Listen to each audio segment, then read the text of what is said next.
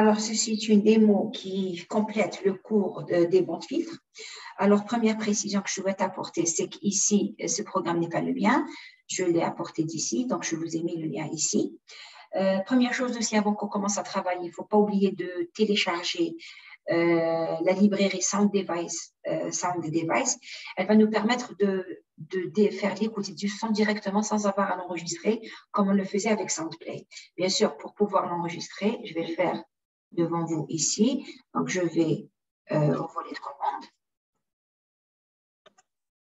et je vais écrire PIP 3 install. Parfois, c'est écrit PIP 3 install sound. Donc, vous allez faire ça, bien sûr, au moment où vous avez la connexion, pas le jour du début. Bien sûr, ici, euh, voilà, donc il vient, il l'a fait, donc il l'a installé, c'est bon. Alors, Maintenant, euh, quoi d'autre? Alors, euh, je vais basculer sur le cours pour expliquer ce que c'est que la décomposition la reconstruction montrée. Je vais faire un petit rappel, puis je vais faire le lien au fur et à mesure. Alors, est-ce que je peux avoir mes deux fenêtres côte à côte? C'est ce que je vais essayer de faire. Donc, ici, je vais ramener ça là. Alors, quand on fait, alors, non, je peux augmenter la taille, super. Euh, quand on, euh, quand on va faire la décomposition en bande filtre, on a à notre disposition plusieurs façons de faire. On pourrait faire ce qu'on appelle plusieurs filtres tels qu'ici, plusieurs filtres qui seraient mitoyens, qui auraient la même taille. Donc, ça veut dire que chacun des deux s'est déduit juste, celui-ci, c'est juste un retard par rapport à celui-là. Et, ainsi de suite pour les différents filtres. On peut faire différentes sortes de compositions, notamment cette de MED qui est utilisée en acoustique, qui repose sur la perception, qui fait que donc on décompose suivant qu'on puisse séparer ou non les fréquences. Ça veut dire que celles-ci, elles sont perçues de la même façon, ainsi de suite pour celles-là. On peut voir les décompositions en ondelettes où on décompose en passe-bas, passe-haut, puis on prend le passe-bas, on le découpe à nouveau, le passe-bas qui reste, on découpe à nouveau, ainsi de suite. Donc, dans tous les cas, j'ai ce qu'on appelle un bon de filtres, c'est-à-dire plusieurs filtres là. 1, 2, 3, 4, 5, 6, 7, 8, 9.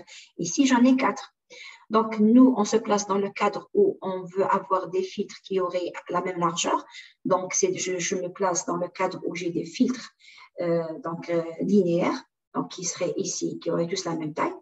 Donc, normalement, qu'est-ce que j'ai quand je fais, j'applique mes filtres? Alors, j'ai deux parties. Une première partie qui s'appelle l'analyse, ça, ça, commence à décomposer. Donc, et une autre partie qui s'appelle la reconstruction, qu'on appelle aussi synthèse. Donc, normalement, ici, si je fais l'analogie, je devrais trouver toutes ces parties-là. Première chose, je décompose avec des fiches. Je suis, il faut que je les crée. Donc, ce que vous avez ici, c'est la génération du banc de filtres. Par la suite. Alors, par la suite, euh, je devrais donc appliquer ces filtres. Voici l'application des filtres. Une fois que j'ai appliqué mes filtres, je suis censé décimer. Décimer par combien de M Ici, j'ai créé euh, j'ai décomposé en huit filtres, donc je vais décimer par n. Et si vous regardez ici, voilà, je fais une décimation par n, où mon n vaut 8. J'ai pris 8 filtres. Regardez, si vous avez m ici, vous devriez avoir m ici, là aussi. Par la suite, qu'est-ce qu'on doit faire? On ne décompose pas pour reconstruire, pour avoir la même chose. C'est ce qu'on a mis ici. Nous, ce qu'on est censé faire un traitement ici. Par exemple, je vais, j'ai du bruit qui s'est rajouté là, je vais essayer de l'atténuer. Peut-être que je suis en train de faire du codage en sous-bande.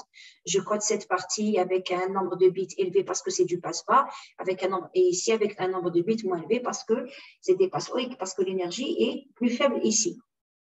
Nous, ce qu'on a fait, c'est qu'on n'a absolument rien fait là. C'est-à-dire, on a décomposé. Qu'est-ce qu'on a fait après? On a décimé. Et tout de suite après, regardez, juste après la décimation, on a une interpolation. Une interpolation par combien? Par M. Et à nouveau, un filtrage. Ici, les filtres sont liés. On dit que c'est des filtres duo. F1 et H1 peuvent se déduire les uns des autres. D'accord? Ici, en l'occurrence, on a pris F1 qui vaut H1, F2 qui vaut H2. Donc, qu'est-ce qu'on fait? On re. Donc, le signal, le signal qui a été, regardez ici, le signal qui a été filtré. Donc, la sortie, les huit signaux filtrés. Donc, après décimation, qu'est-ce qu'on fait? On les prend et on les filtre. Donc, après, juste après l'interpolation, on prend les signaux et on les filtre avec le même filtre, c'est-à-dire qu'ici F1 et H1 sont égaux. On est en train de filtrer quoi? DUS1. Qu'est-ce que c'est que DUS1 Si je regarde ici, DUS1, c'est le signal qui a été. Alors, je le remets ici. DUS1, c'est le signal qui a été donc interpolé. Mais qu'est-ce qu'on a interpolé? On a interpolé le signal qui a été décimé. Donc, en fait, on a filtré. Ensuite, après le filtrage, ce qui a été filtré, ça s'appelle filtre, il a été filtré D1. Il a été décimé, ça s'appelle donc DS1. C'est ce que j'ai, ce que j'ai appelé ici X11, c'est DS1. Par la suite, on a interpolé quoi? Donc, DS1 a été interpolé. Donc, c'est pour dire downsampling, upsampling. Et ici, qu'est-ce qu'on a fait? On a encore filtré. Qu'est-ce qu'on a filtré? Ce qui a été interpolé, upsampled. Donc, ils sont là. Ensuite, qu'est-ce que vous avez ici? Vous avez un additionneur. Regardez ici maintenant. Toutes ces sorties, elles ont été additionnées pour régénérer le signal. Comme on n'a rien fait entre-temps, qu'est-ce qu'on devrait retrouver? On devrait retrouver le signal original. Donc, ce que j'ai mis par la suite, on va expliquer maintenant étape par étape. Donc, euh, ici, en fait, les, les, filtres qui ont été générés, donc on a dit que c'est un découpage linéaire. Donc, je vais essayer de me référer comme à la figure de tout à l'heure. Donc, en fait, qu'est-ce qu'on a On a pris la bande de fréquence? Bien sûr, ce qui se passe ici doit se passer là. Donc, ici, prend la bande de fréquence jusqu'à 0,5. Donc, de 0 jusqu'à 0,5, on a fait un découpage en huit filtres. Un premier filtre, un passe-bas. Ensuite, tout le reste, c'est des passe-bandes, hormis le dernier qui sera bien sûr un passe-haut. Est-ce que je suis arrivée à 8 1, 2, 3, 4, 5, 6, 7 et le dernier est un passe-haut. Bien sûr, vous avez la même chose de ce côté. Alors, pour ce faire, euh, on a pris un filtre RIF. Rappelez-vous qu'avec un filtre RIF, on avait vu euh, trois méthodes, dont deux détaillées, c'est-à-dire on avait pris, on avait vu la méthode des fenêtres, On avait vu la méthode de l'échantillonnage fréquentiel. Et vous avez préparé brièvement d'une méthode qui s'appelait méthode de Parks et, j'oublie le nom, Lynn, et Parks. alors, ça s'appelle la méthode de Remes. Alors, dans cette méthode-là, en fait, qu'est-ce qu'on essaye de faire? En fait, avec ces deux-là, on avait un petit souci, c'est qu'on avait des ondulations, sauf qu'elles se présentaient comme ça. Et ça allait en diminuant, c'était dû au fait aux, oscillations, dû au lobe secondaire, de, au secondaire du sinus cardinal. Avec la méthode de Rames, en fait, qu'est-ce qu'on essaye de faire? On essaye donc de démarrer des filtres dont on essaye d'optimiser les ondulations. En fait, on prend le polynôme de Chebyshev. Euh, rappelez-vous, les filtres de Chebyshev, on avait, on a des ondulations qui sont comme ça. Elles sont toutes égales, les filtres de JBTAP avec une très bonne sélectivité, une zone de transition très réduite. En fait, on démarre de ça et puis on essaye donc de les répartir, de ces ondulations, d'avoir quelque chose. Au lieu d'avoir quelque chose qui est très grand, quelque chose qui est très petit, on va avoir quelque chose qui est plutôt moyen. Donc, quelque chose qui va faire ça, mais avec des ondulations qui sont toujours les mêmes. Alors, quand on fait ça, donc, bon, sûr, comme tous les filtres, avec euh, là, c'était Firwin, ça, c'était Firwin 2. Donc, vous devez bien sûr spécifier la taille de votre filtre, c'est ce que vous avez ici. Ensuite, euh, votre filtre, il faut lui dire où est-ce que ça commence, où est-ce que ça termine. Là, ici, c'est 0,05. Donc, partout, partout, vous allez trouver 0, ici. Et le, le dernier élément, c'est toujours 0,5. Regardez ici, c'est 0,5. Y compris pour celui-là. Remarquez que ceux-là sont courts c'est un passe-bas et un passe-haut. J'ai besoin de quelques fréquences de coupure, moins que pour ici, pour cela. Ensuite, qu'est-ce qu'on a ici? En fait, ce qu'on a ici, c'est toujours donc la zone atténuée et puis la, fréquence de coupure, c'est-à-dire ce que vous avez ici. Regardez ici, voilà où se trouve donc j'ai mon FP et j'ai FP et j'ai mon FA. À tout moment, en fait, vous donnez FP, FA. Donc ici, comme c'est un passe-pas, j'ai FP, j'ai FA. Par contre, quand je prends un des, des couples bandes, qu'est-ce que je vais avoir Je vais avoir non seulement, donc je vais avoir FP, FA, mais de chaque côté, c'est-à-dire j'aurai à chaque fois deux valeurs. Donc si je regarde ici, donc ce que j'ai ici, c'est la zone de transition. Donc ici, voilà, vous avez votre premier FA1, FP1, FP2, FA2. Bien sûr, plus, si je mets une zone de transition étroite, ces valeurs devraient être proches. Si je regarde ici, c'est 00625, 00627. Et de l'autre côté, c'est 0125, 0127. Est-ce que vous avez ici, ça, ce que vous trouvez là, c'est toujours donc le, facteur d'amplification. Comme c'est un passe-bond, donc qu'est-ce qui va se passer? Juste avant, je voudrais que ce soit ces valeurs-là, je voudrais que ce soit 0 ces deux-là, je voudrais que ce soit 1, et là, je voudrais que ce soit 0. Donc, voilà comment on va d'utiliser un filtre RIF avec la méthode RMS. Maintenant, ces filtres-là, si vous remarquez, qu'est-ce qu'on a dit On a dit que là où l'un commence, l'autre devrait s'arrêter. Regardez, ici, ça s'arrête à 0,025. Donc, en fait, ici, vous avez ces points-là qui vont se correspondre. Donc, on veut des filtres qui se recouvrent. On ne veut pas rater une partie. Donc, c'est un bon de filtre qui doit couvrir tout le spectre de fréquence originale. Donc ici, si vous regardez, ça fait donc 00625, 027, et le prochain va démarrer à 0025, 0627, et ainsi de suite. Celui-ci, regardez ces valeurs-là, ce sont ces valeurs-là qu'on va retrouver, et ainsi de suite. Donc, on est en train de faire un pavage, c'est-à-dire que je suis en train de prendre euh, des filtres qui séquentiellement vont se recouvrir. C'est pour ça qu'on parle de pavage. Maintenant, pour ce qui est du programme, pour le reste, qu'est-ce qu'on fait? Une fois que j'ai généré mes filtres, je veux visualiser leur spectre en fréquence. Comment on le fait? Grâce à FrexSet, ça on connaît, on l'a déjà fait. Vous en avez 8 ici, donc 1, 1 2, 3, 4, 5, 6. Je les ai juste mis sur la, j'en ai mis deux sur la même ligne. Donc, je veux aussi pouvoir euh, visualiser leur euh, réponse impulsionnelle. La réponse impulsionnelle, c'est un filtre RIF. Donc, directement F1, c'est votre H1, c'est votre euh, réponse impulsionnelle, c'est un filtre RIF. Les coefficients, les BI, c'est directement, c'est ce qui vous donne votre filtre. Une fois que j'ai généré des réponses en fréquence, je veux les voir en dB. Pourquoi je veux les voir en dB C'est juste pour vérifier est-ce que les ondulations sont vraiment les mêmes? Si je trouve quelque chose qui fait ça, c'est que c'est les mêmes ondulations. Si je trouve quelque chose qui fait ça, c'est que ce n'est pas les mêmes ondulations. Normalement le, but, de la méthode de Ramet, c'est d'obtenir toujours les mêmes ondulations. Ensuite, donc on va d'abord commencer par cette partie. Alors, je vais mettre en commentaire le reste. Alors, on a effacé tous les dessins. On va d'abord vérifier que ces filtres correspondent à ça. Toute cette, en fait, nous, la partie utile pour nous, c'est que ça. Tout ça, c'est pour nous, visualiser les réponses. Sinon, tout, ça, c'est pour, euh, je peux les mettre en commentaire après dans le programme, ça ne changera absolument rien. On va commencer donc par mettre en commentaire ce qui vient après. Alors, on commente.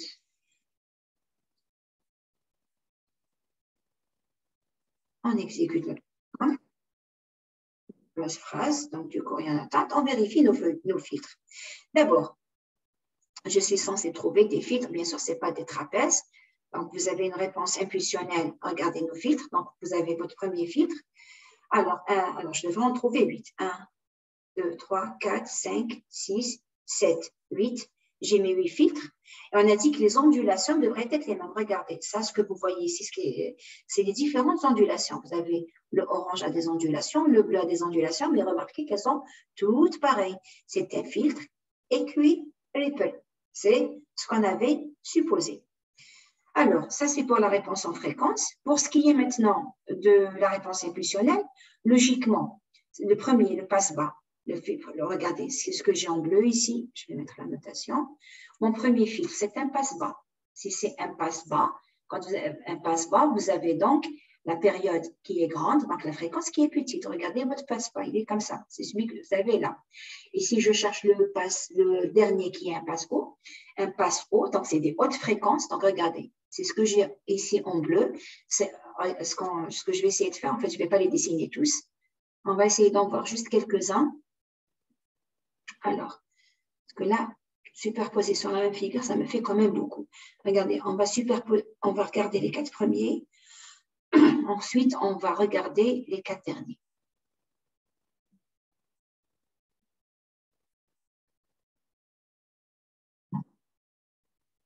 Alors, regardez, je suis en train de visualiser donc, les quatre premiers filtres. Ah oui, je voulais visualiser les quatre premières réponses impulsionnelles, pas les quatre premiers filtres. Pas grave c'était la réponse impulsionnée, je la vois ici. Oui, bon, c'est un petit peu embêtant, il faut que j'enlève tout ça, mais ce n'est pas grave. Voilà, on va visualiser les quatre premiers.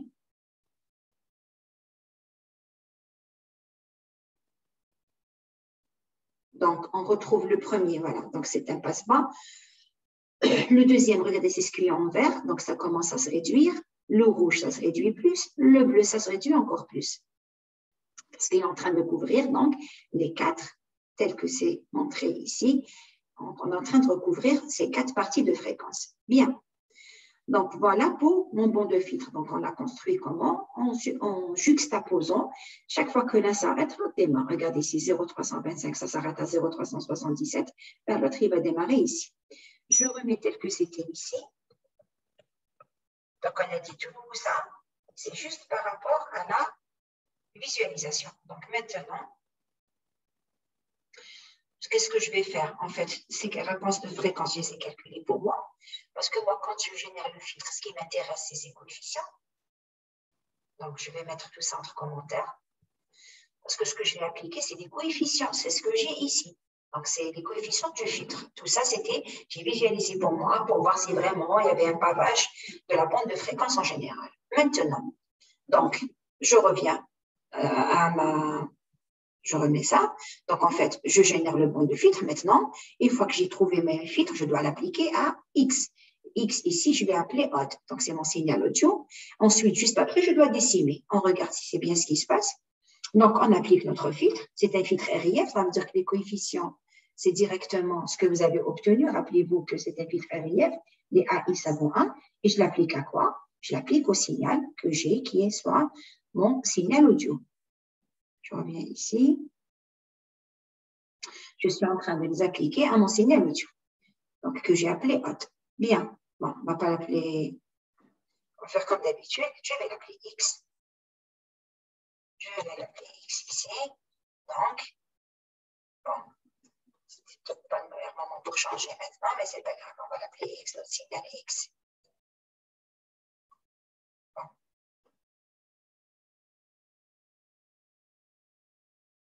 Essayer de rechercher remplacer tout à l'heure. Elle n'a pas fonctionné, je ne sais pas pourquoi. Donc, je remets ça.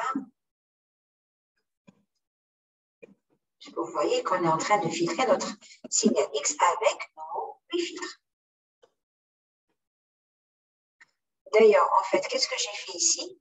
J'ai essayé, là aussi, c'est une partie que j'ai rajoutée, je peux mettre entre commentaires. En fait, j'ai essayé d'écouter les signaux. Regardez, pour que ce soit pas la suite de l'autre, moi, j'ai mis, j'ai mis appuyer sur une touche. Euh, j'ai rajouté ça, c'est pour pouvoir écouter chacun séparé de l'autre. J'ai appuyé sur une touche, j'appuie sur une touche.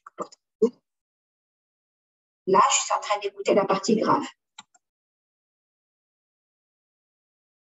beaucoup plus. On devine quand même. Ça commence.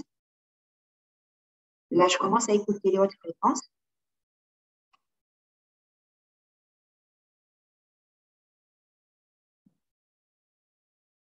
Vous avez vu à l'écoute. En fait, qu'est-ce qui s'est passé?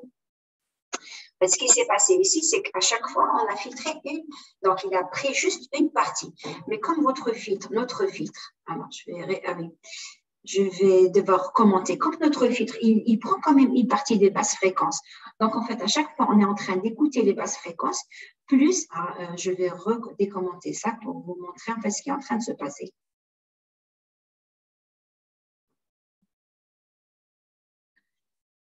Alors, euh,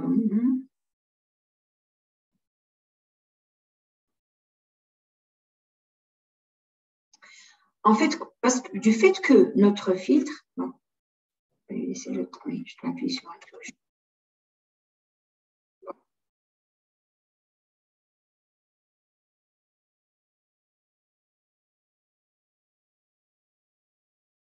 J'aurais dû le commenter. C'est juste pour montrer ça. Mais en fait, qu'est-ce qui se passe? C'est que pour chacun des filtres, qu'il soit orange, vert, violet, vous avez une petite partie basse fréquence. Donc, il prend, il prend, parce que l'information principale, elle est dans les basses fréquences. Il prend le vous avez du courrier en attente, il amplifie, il amplifie à chaque fois certaines fréquences. Ce qui fait que vous avez, le sentiment, en fait, d'entendre la même chose, mais qui serait dite par des personnes différentes. Donc, les cordes vocales vont plus vibrer de ce côté, de celui-ci ou de celui-là. Si mon filtre avait été tel que je l'aurais souhaité, je n'aurais pas entendu ça. J'aurais entendu juste quelques fréquences. C'est surtout dû au fait que chacun de ces filtres-là, ils ont tous une partie qui est en basse fréquence. Donc, vous avez l'information utile, mais il amplifie en amplifiant à chaque fois un certain type de fréquence. Alors, on a fini. Alors, je, recommande, je, je recommande à nouveau.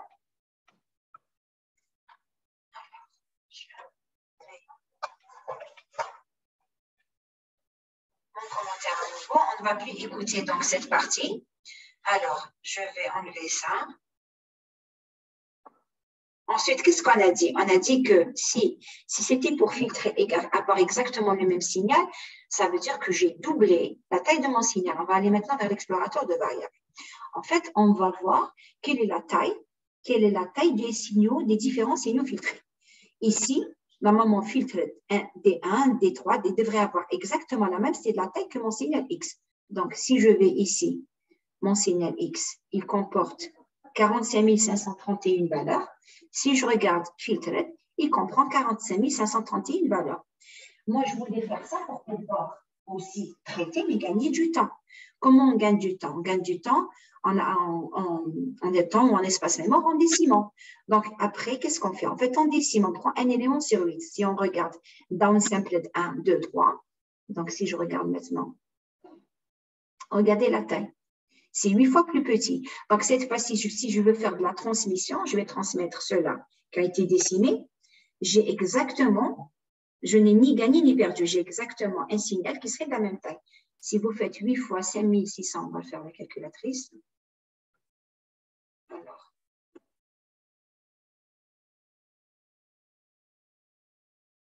donc, si je prends, alors, s'il veut bien me donner ici, n'est-ce pas, le prendre là. Donc, si je prends 5692, je multiplie ça par 8. Je devrais avoir, oui, n'oubliez pas que quand vous décimez, il y a quelques chiffres qui restent, c'est-à-dire je décime par 8, mais si ce n'est pas multiple de 8, certains chiffres, je trouve quelque chose presque aux alentours de 40 531. Il manque ici 5 valeurs. Donc, je décime parce que je souhaite stocker ou parce que je souhaite transmettre ou parce que je souhaite euh, traiter. Donc, on a fait notre décimation, on a un signal donc beaucoup plus petit. Maintenant, là, normalement, entre ça et ça, je devrais avoir un traitement. Par exemple, je décide de ne pas garder certains de ces éléments, je décide de coder ça d'une certaine façon et ça d'une autre. Là pour, là, pour la démonstration, je ne vais pas faire autre chose, mais je vous demanderai de le faire, bien sûr, pour le TP. Donc, ici, maintenant, si, en l'absence de tout traitement, je devrais récupérer le même signal. Donc, en fait, qu'est-ce qu'on va faire ici?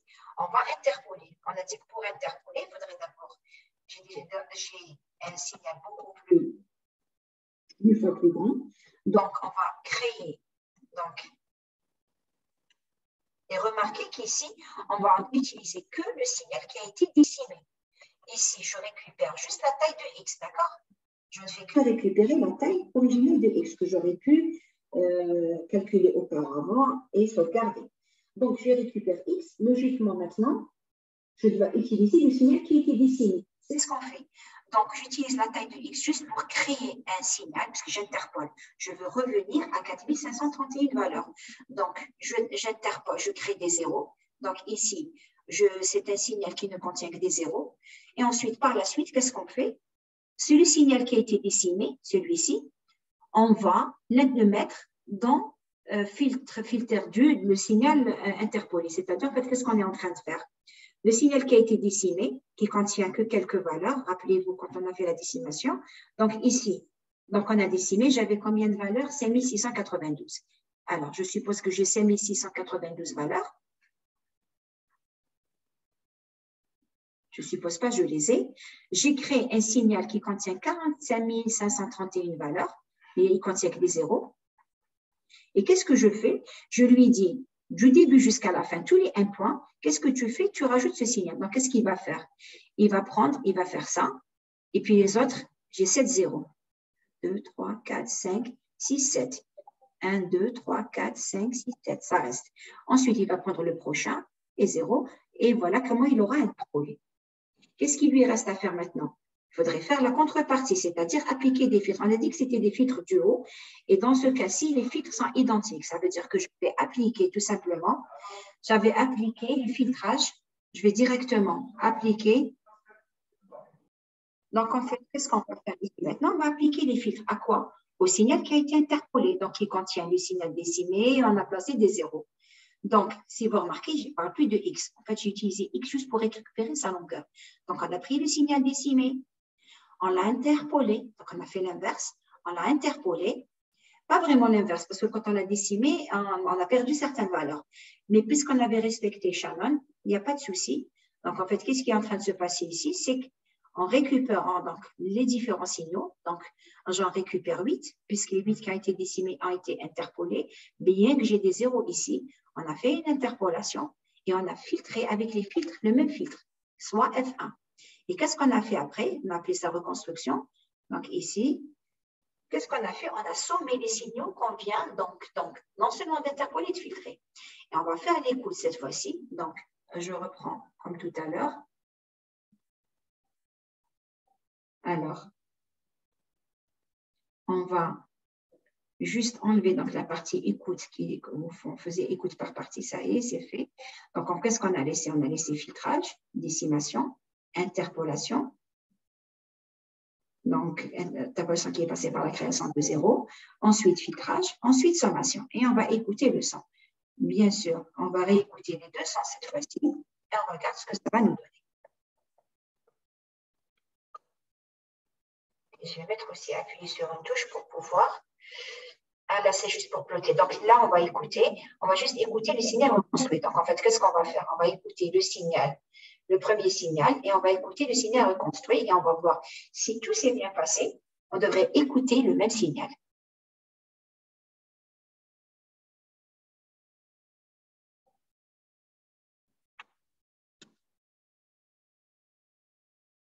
je récupère le même signal en dessinant, sauf que je n'ai pas récupéré les amplitudes euh, exactes là où j'avais le premier signal, donc c'est chez Cambieux, c'était des valeurs entre 50 et 250.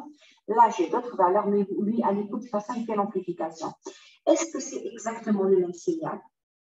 Non, je pourrais ici amplifier. Ce n'est pas exactement le même, sauf que ce que j'ai pu perdre ou n'a pas impacté, quand on a décimé et interpolé, parce qu'on avait respecté Shannon, ça n'a pas impacté notre, euh, la qualité de notre audio. Voilà, on pourrait ici zoomer. Je vous demanderai de le faire pour le TP. Essayez de zoomer, essayez de comparer. On peut faire, euh, pourrait ramener celui-ci avec entre les mêmes valeurs que celui-là, faire une soustraction et puis voir ce que ça donne. L'essentiel, c'est qu'à l'écoute, j'ai récupéré exactement le même signal. Donc voilà pour cette démonstration.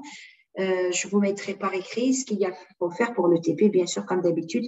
Je mettrai ça sur la, je mettrai le code sur la partie description de la vidéo.